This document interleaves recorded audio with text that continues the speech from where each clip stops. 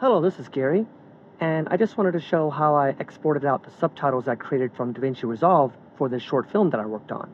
So let's go get started. There are tutorials on how to create subtitles in Resolve. I'm not going to go into that right now, but after creating them on this little subtitle track, you then go to the delivery page, and once you've selected your render region, as I've done, you can go ahead, you would simply export out your video and your audio, or uh, I imagine that you can just export out the subtitles by themselves without exporting the video and the audio. I've not tried that, but in my case, I was I wanted to export the video and the audio. So um, we're going to ignore all the render settings here. These are, these are not the render settings I used. I would use DNxHR 444 10-bit to get like a master file. And then the audio would be something like this, linear PCM 32-bit, 48 kilohertz. So we go to subtitle settings, and this is where it really matters. You go to export subtitle as a separate file, and we're going to export it out as an SRT file. And then we'll make sure we select the subtitle track we want to export. We'll add to render queue, and then you will just go to render all.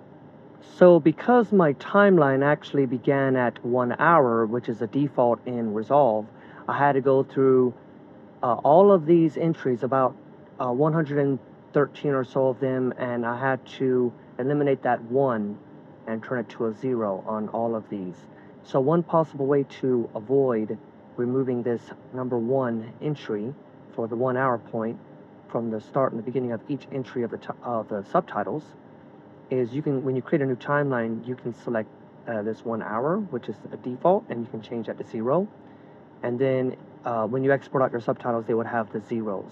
So once you have your subtitles file all cleaned up with the one hour removed, now you don't have to export it again. You can simply edit this text file however you please, and then you can adjust the subtitles like this.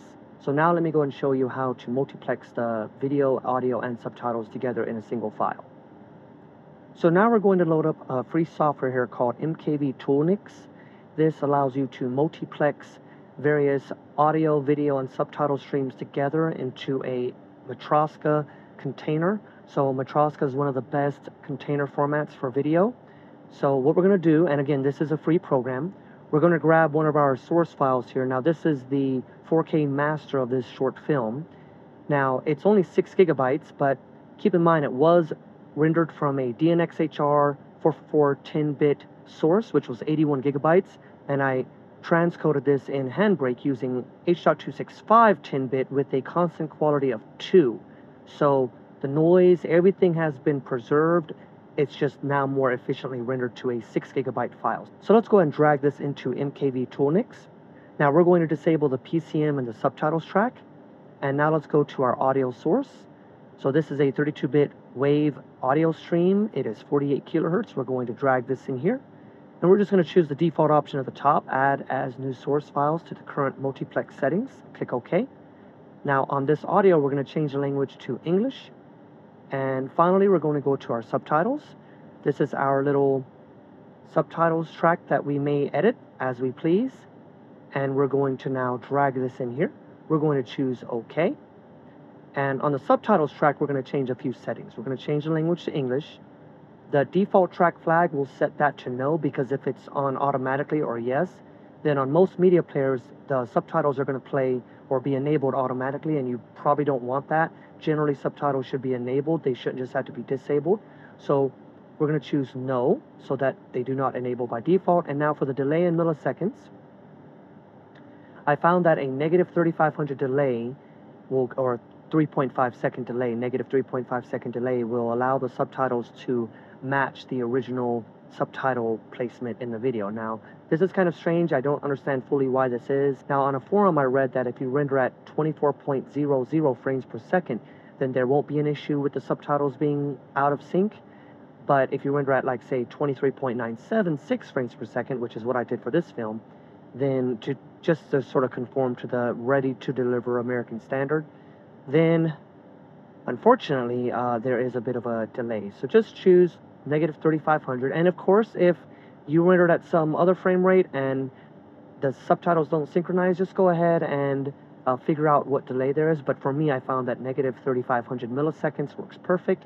And then you would simply choose a destination file. And I'm just going to, in a little temp folder here that I made, so it's going to be treasure 4ktest.mkv or Matroska. And we're just going to click on Start Multiplexing.